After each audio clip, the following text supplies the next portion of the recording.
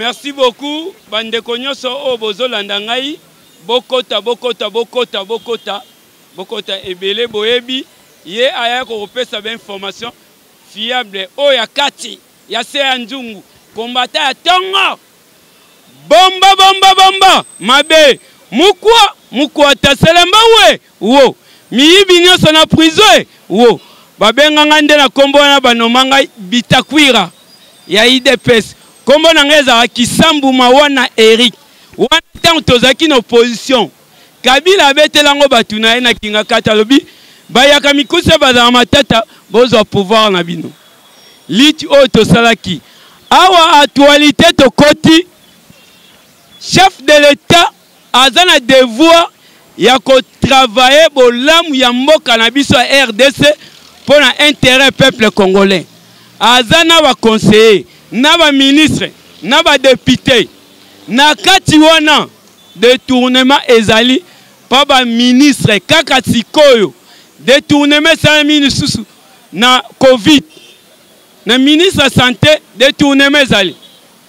detournement lisusu ekei na ministre ya agriculture detournement ezali bauti kokanga kutu secrétaire agriculture à part wana ministre ya transport adetourne lisu mbongo mituka oyo batindaki na équateur detournement te moyibi bamemela biso nkombo ya detournement français moyibi mituka wana ekomi te na équateur awa ndenge tozoloba boye tozotuna mituka wana ekei wapi chef de l'état sala bila na yo na 3 ans Bazolinga basala yo echec. Tala problème mpe ya zandu. Zandu wana banda wabuka yango. Eza pasi. Bandeko na biso ba congolais oyo banda odebrouiller kuna. Ti lelo bana na bango banda futela bango minerval. Lelo bafutaka te. Vie ezokoma kaka pasi na Congo. Chef de l'etat tala makambo ya zandu. Nasepelaki mingi ndenge otali wenji. ya Matadi Kibala obi balongola yango wana mpo na accident. Tala mpe lisusu ya zandu ba changer yango mpo lelo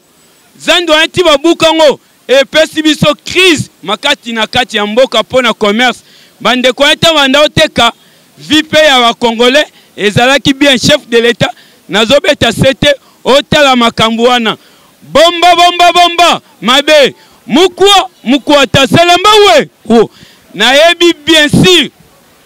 chef de l'etat na février a mandat na union africaine ezosila akataki akendaki braza na braza wana akei azwi mandat sikoyo ya cac na sasu économie na afrique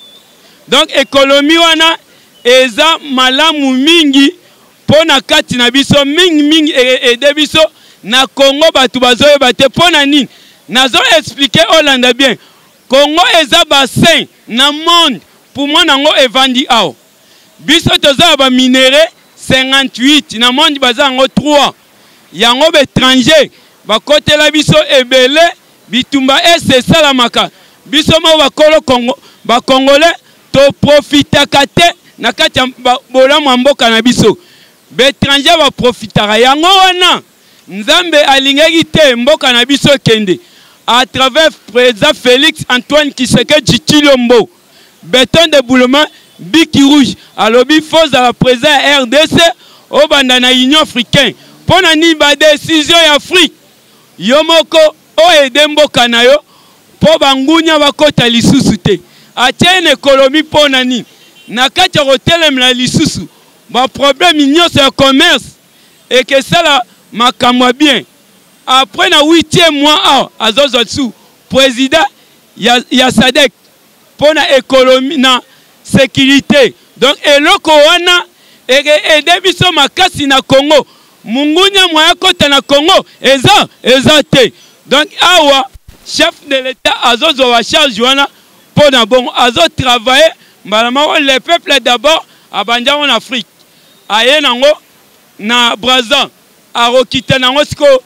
na, na, na pouvoir oyo akozwa na sadek nde yango ede biso na kati ya congo mais chef de l'etat azongaki mikolo chef de l'etat alingi abanda nomination nomination ne baambassadeur ba oyo batikalaki na ba pdg apart ba pdg akonome sikoyo ba secretaire generaux bawumeli mpe mingi aronome na fardc la police aner dgm aye kokita sikoyo remaniement na gouvernement toza tour oyo gouvernement 56 ministre mais tour oyo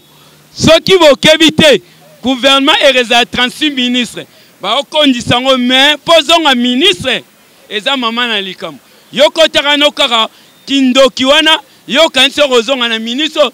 di ministre oyo oh, toomona kaka baotravaille oh, kitoko neti ministre tony asali alite bamese bazwaki batyaki grève asilisi grève wana bazwi ata mbongo te na miniti oyo bapandisi ko bainspectere na kati ya mboka mpo na nini ko controle ba NI na ba NP mpo na nini bafuta bango salaire oyo bawumela ata mulayi na 4 mois awa bazozwa salaire ya sika ba fonctionnaire ya leta nyonso donc soki bazwi salaire ya sika bato oyo banda kobenga ba NI oyo kabila atika basala ba 30 ans 20 ans bakomi kozwa mbongo danse ekoma sikoyo faci beton Wumela fanda place wana. Yango nde eza bolamu ya mboka na biso. A part wana boyebi betidia ya mboka na biso bauti opesa bango ba transco 100 me nasepeli soki bakongole bakomi bongo tokomi unité tokomi mpe na susi ya mboka na biso ekende liboso president ya baetudiant atelemi alobi chef de l'etat babisi oyo batransco etikala kaka te na biso ya leta pesa mpe baetudiant oyo ya baprive nasepeli na eloko wana unita bongo tokoyeba kotonga mboka na biso eloko wana mpo baministre na biso eza te chef de l'etat sala eloko oyo sala bilano na 3 ans le 24 oyo ozokokisa 3 ans ata projet moko olanse baprojet ebele ata moko oyo basilisi eza te soki président na biso jean marc kabund oyo ya idps atelemelaka te na rentrée parlementaire mpo na so de mouton mbele baso de mouton esila te kanisa eloko wana zonga sikoyo tala eloko nini osali eloko nini ozangisi Otala banani okoki otya pembeni no banani okoki otya te. Oyo nyonso aza na vision ya, ya le peuple d'abord te. Oyo aza vision na yo te. Union sacrée eza vision no. Oyo aza vision yango te. Tya ye libanda mpo ekezala avantage ya peuple congolais. Awa lelo totikali na deux ans. Deux ans wana mpo na election. Nasepeli mingi na bureau ya CENI. bazo travailler pe makasi ba formation mingi eza na seni awa pe kester ya seni awutaki oloba outi na parti politique mais soki banome yo oza na parti politique te oza sikoyo po travailler na kati ya mboka na nation salela biso makambo ya bien bombo bombo bombo mabe mukuo mukuo taselemba we wo chef de l'etat toza uni Mupepe nyoso oyo ezoleka mpo na biso eza mpo nde batia yo echec na 2023 ozwa majorite te oto batia yo otika kaka na pouvoir coalition coalition biso ba combattant toko retrouver mokolo nini nanu tozwi misala te esengeli tozala kaka unité moko ba combattant toza unité moko mpo na 2023 topesa chef de l'etat Majorite majorite wana ede biso misala eye ebele na kati ya Congo ba distraire biso te na kati ya ko distraire biso ekezala mpasi mingi topesa président majorite tozala bomoko ndenge papa Etienne atikila biso komba oyo komba wana ede biso na kati ya parti ekepesa biso bolamu tozo soutenir président Félix Antoine Kisekedi Tshilombo tozo soutenir président ya biso Ayi Jean Marc Kabund to soutenu secrétaire na biso mwana buta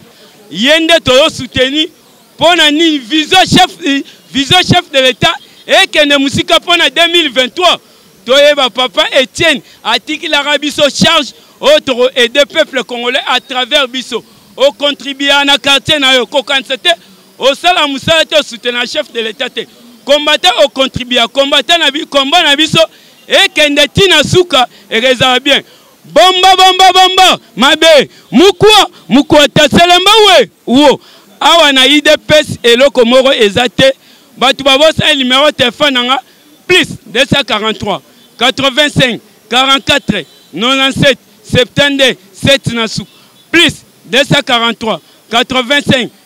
44 97 72 seti na su en tout cas nzambe apambola bino apesa bino kimia bambote ebele place boza tokende liboso 2023 Abonnez-vous sur notre chaîne, cliquez sur la cloche de notification pour ne rien rater de nos publications.